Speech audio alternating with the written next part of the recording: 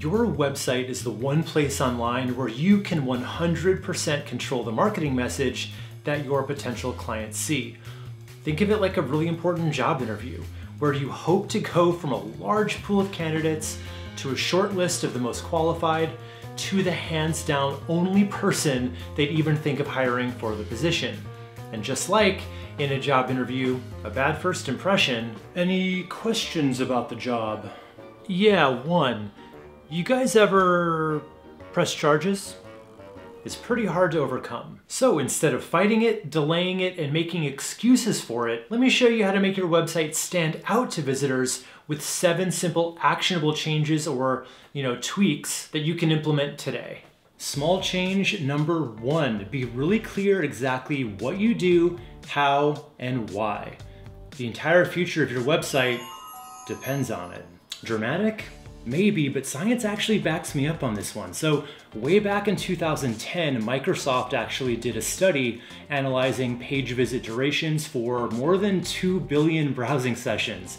And what they found with all that data is pretty heavy. Essentially, the first 10 seconds can predict the future performance of any given website. Great more to the point, the first 10 seconds of any page visit is critical for the viewer's decision to stay or leave. So the probability of them leaving in those first seconds is extremely high because let's face it, a lot of websites out there just suck and everyone checking out a new website for the first time kind of goes into it, you know, with their arms folded at first, um, just ready to be unimpressed. But if that user likes what they see enough to survive past that 10 second mark, they're very likely to stick around for a much longer time where they can actually see why they should work with you. And the best way to hold on to your users long enough to pass the 10 second test is to be clear not only in what you offer, but how you make your client's life better. In other words, your unique value proposition will save you if you lead with it. And you can do this by making really good use of the most valuable real estate on your site, the header, or what we in the web business call the hero section, right up at the top of your homepage. So you wanna use it to clearly and simply convey who you help and how. Do not mask this in vagueness or cliches or waste the space bragging about your business itself. As long as you keep the focus on your customer's problem and how you solve it, you're golden. Okay, time for small change number two, which is to simplify your main navigation bar. So if you've ever spent a Saturday night endlessly scrolling till you hit the bottom of Netflix, you know all too well that an overwhelmed mind makes no decision at all. And if you've ever been on a website that had a navigation bar that, you know, stretched into a second row, it's exactly the same. Even consolidating and making each option a drop-down with multiple choices can end up being a lot. So instead of that, do this. Just make sure your navigation has five buttons max to only your most important conversion focused pages. Things like services pages with a deeper dive into your various offerings. An about page with some background about what makes you the expert but always leading with how this is actually going to help solve your visitor's problem. A testimonials or reviews page to show social proof of real people's results after working with you. And of course, a page that lets people get the ball rolling toward working with you. Now, there may be a lot more information you want to share with your site visitors, but you'll definitely want to demote those pages to the footer navigation on your website.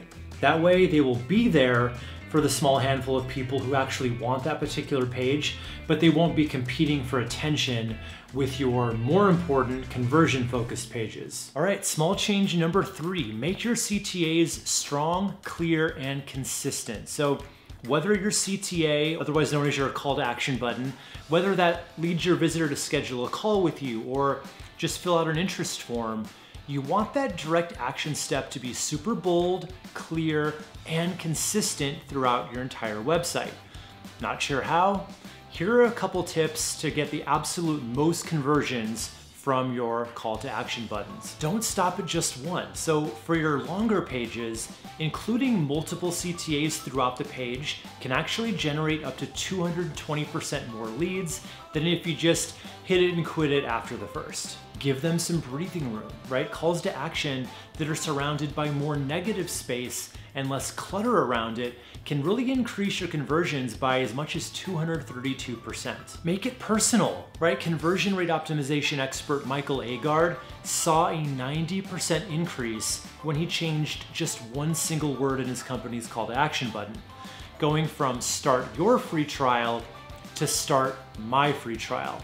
And that just shows that people will always buy more when they feel a more of a personal connection with something. And it's a pretty good shortcut to that connection.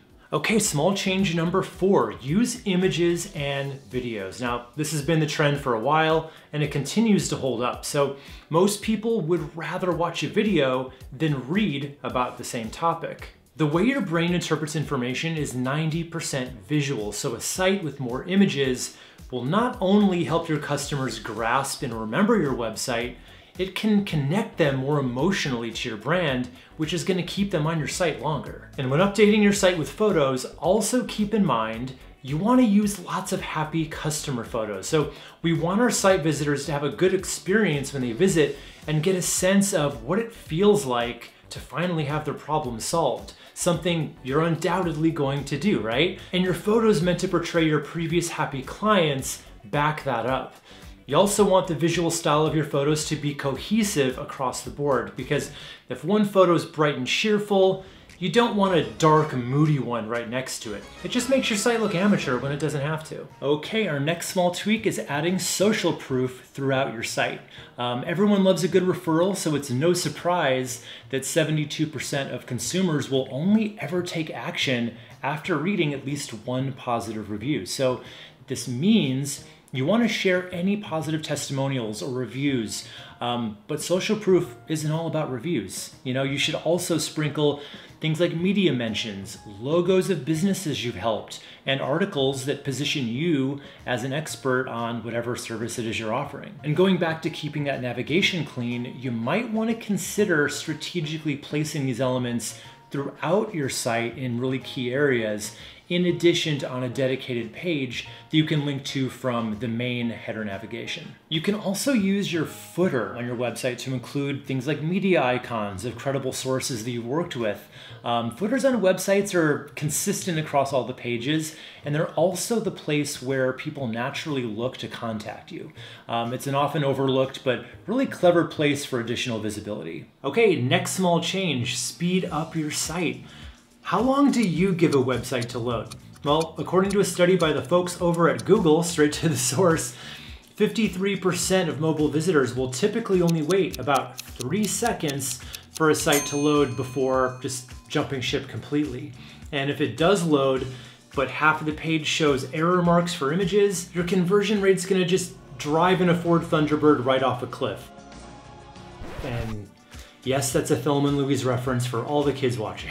Now, luckily, you can test your site speed through a platform. It's an app that I use called NitroPack. So just go to nitropack.io, that's their website, and test the current velocity of your site right now. And according to them, even a one second delay decreases your conversion rate by 16%. So if it's performing below the recommended level, you can try one of their optimized plans or install their WordPress plugin instead. I've got a link down below. So um, you can also do an inventory of any images or GIFs that you currently have. They might be a huge file size weighing you down, but if you install NitroPack, they're gonna take care of that issue for you and your images won't even look any worse. It works incredibly well, way better than any other speed tool that I've ever used personally. All right, next small tweak, use your site to your list building advantage, right? Your website is not just about getting the quick sale.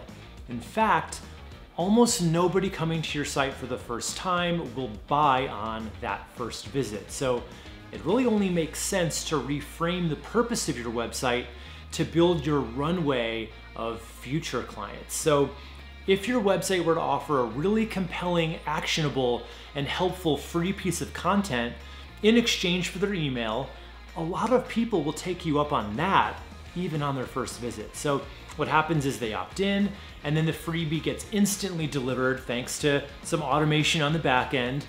And now you've got a new email address that you can follow up with with more helpful content before you hit them up for the sale about four emails later. And I actually have one more bonus tip for you to improve your website and your conversions, and it's all about adding one simple little plugin to your website. So if you click right here, I'll show you what it is and how it actually got me a 125 times return on my investment when I tried it. Not even kidding. This is completely worth your time. So click right here so you can get some of those results for yourself.